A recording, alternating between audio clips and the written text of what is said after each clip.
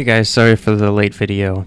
Usually I try and post multiple times a week, but it's been over a week since I posted, and that's because I'm working on a detailed sculpture right now. It's gonna be another dragon, but this time a full size, like the full bodied dragon.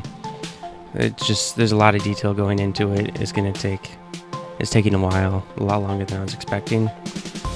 Also, in the meantime, I'm waiting on a larger 3D printer to uh, show up, and so that way I can start sculpting much larger, more detailed pieces.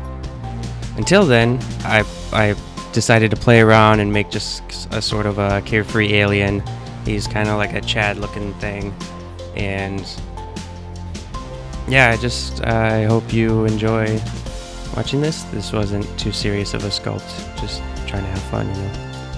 So thank you so much for watching.